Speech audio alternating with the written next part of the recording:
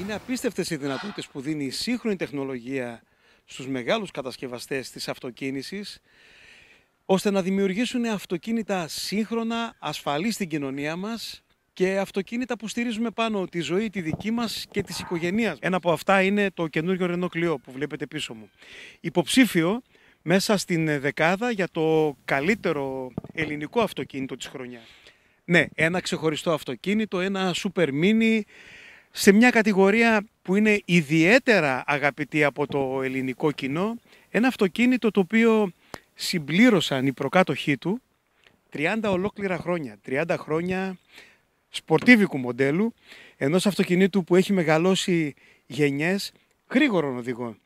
Όπως βλέπετε είναι ξεχωριστές οι καμπύλες που έχουν μπει επάνω του, οι πινελιές είναι απίστευτες, ολοκληρωτικά ένα νέο μοντέλο, ένα ασφαλέστατο αυτοκίνητο, ένα αυτοκίνητο που στην πρώτη βόλτα που κάναμε καταλάβαμε τι είχαμε στα χέρια μας και πόσο άνετο είναι το ταξίδι.